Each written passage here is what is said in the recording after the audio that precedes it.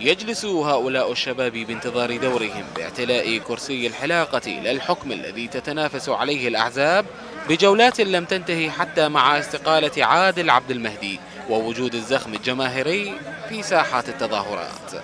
خدمة مجانية يقدمها حلاقون متطوعون في قلب منطقة الاعتصام.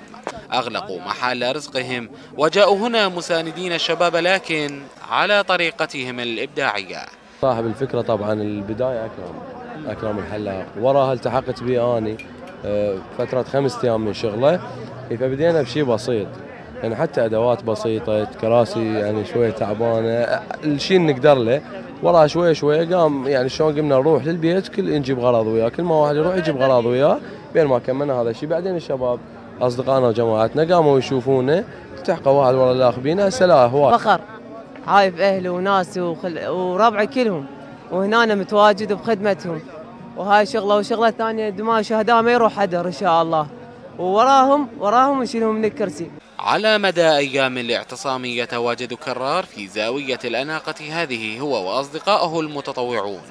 بدقة يعملون كما في محل الحلاقة الخاصة بهم. الاعتناء بأدوات العمل وتعقيمها بشكل دوري لا يتوقف مع استمرارهم بالحلاقة. نصادق العالم مو نشوف إنه أكو أصدقاء. يعني حتى أحلى يمكن من السفر.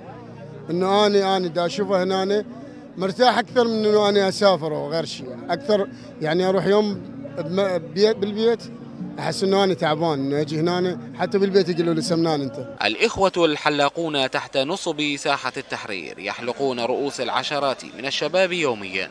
اختاروا تقديم هذه الخدمة انطلاقا من مقولة كل حسب موقعه يخدم التظاهرات فقرروا تزيين وجوه الشباب. من بغداد جبر جمال قناة رشيد الفضائية